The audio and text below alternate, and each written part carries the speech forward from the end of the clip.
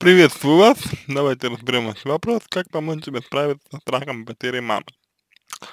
Ну, я думаю, разрешится без лица, потому что страх потерять человек, э, человека и именно, именно вот страх потерять человека, да, это история про э, подавленную агрессию на человека, опять же.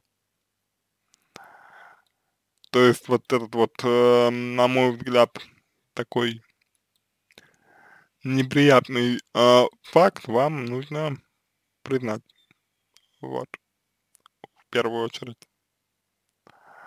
Это первое. А второй, да, это один, одиночество, как и сказал мой коллега Кудряшов Игорь Леонидович. Это началось у меня пять лет назад, я долгое время работала в приемном отделении больницы терапевтом, видела много смертей, особенно чьих-то мама объявляла их детям о потере, увидела все страдания, потом ковид, столько смертей, сама лечила родителей, плюс папа, дед, мама жертва. Постоянная картина эмоционального насилия, вечный страх за маму. Ну, здесь история скорее про то, а, что, что вы вот э, травмировались, а, вы травмировались, э, на мой взгляд, достаточно сильно.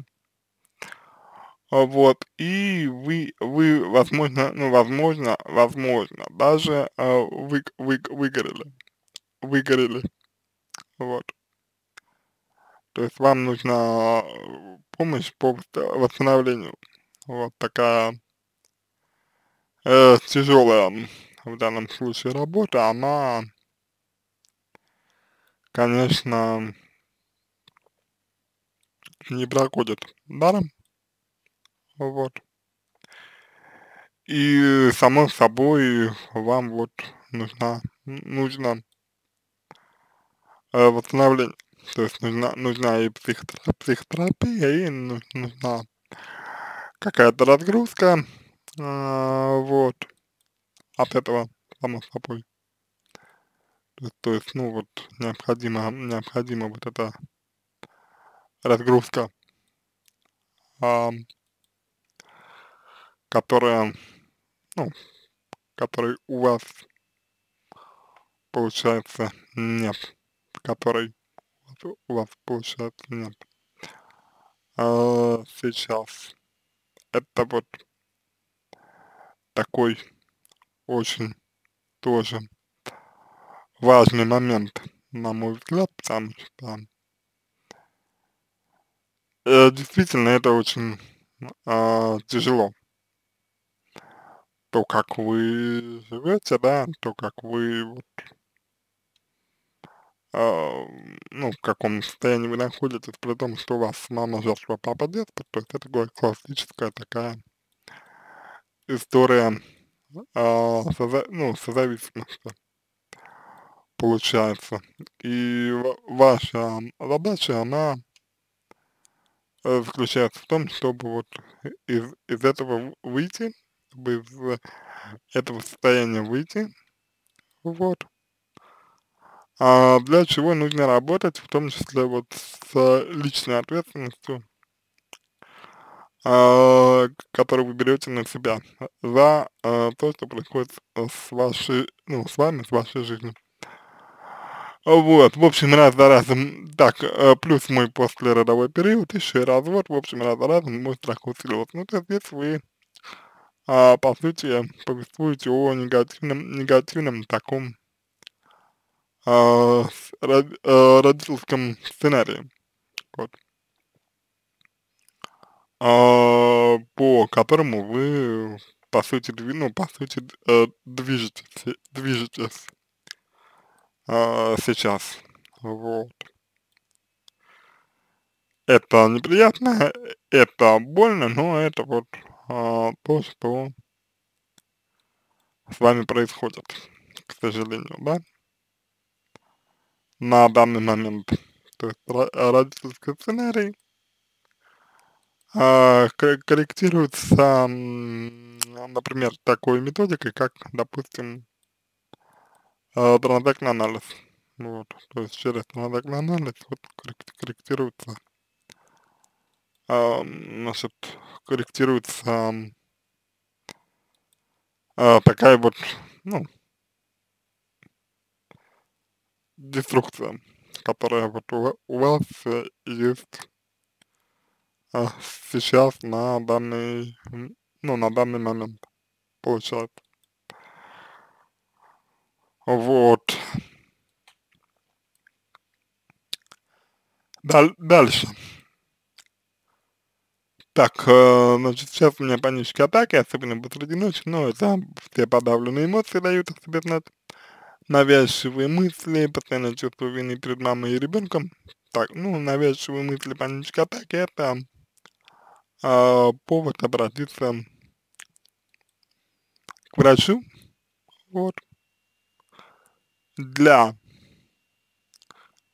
э, ну, коррекции своего состояния, вот, для корректирования своего состояния, вот, для выявления, выделения у, у вас э, проблем, связанных с работой мозга, вот, и, соответственно, э, соответственно, коррек, ну, корректирование их уже.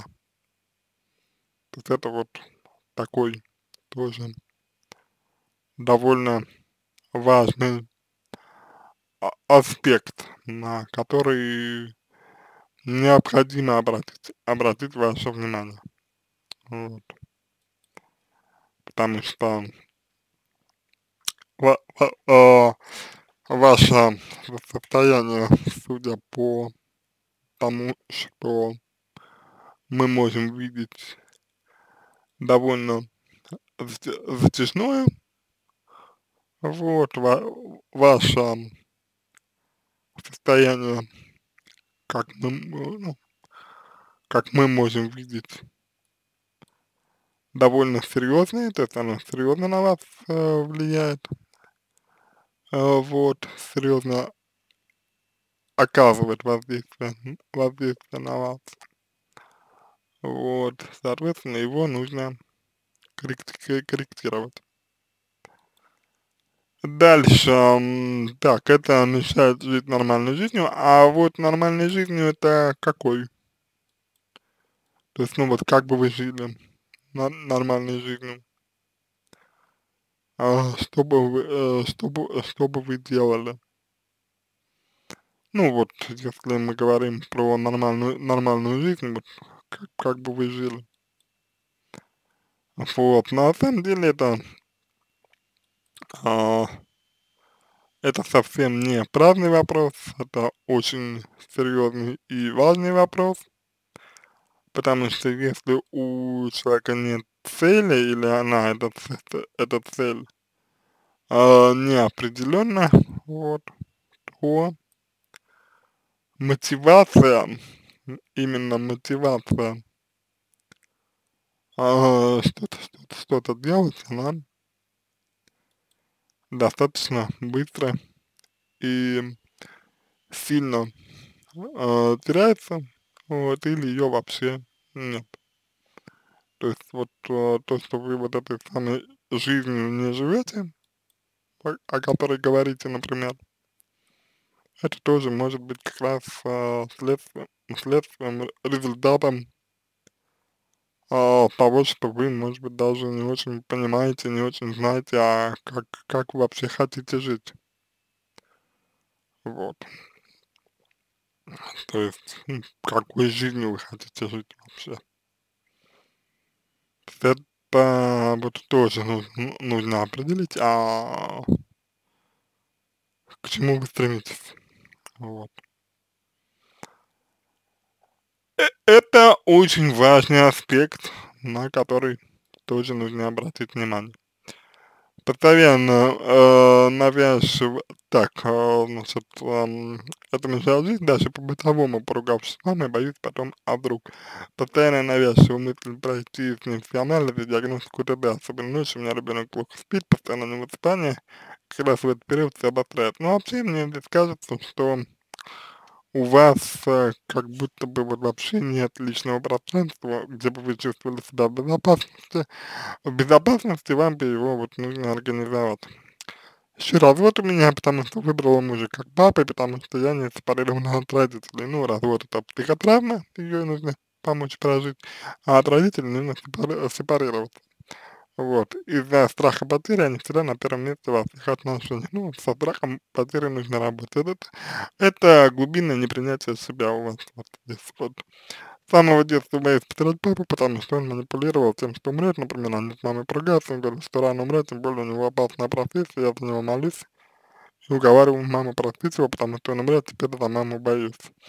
А, довольно избивчиво вы пишете, конечно, Эльда, но я думаю, что если здесь вопрос религии, вам нужно к священнику обратиться, тоже поговорить. В итоге у меня ненависть к отцу, это надо разобрать. Ненависть это а, когда человек выступает препятствием для чего-то перед вами.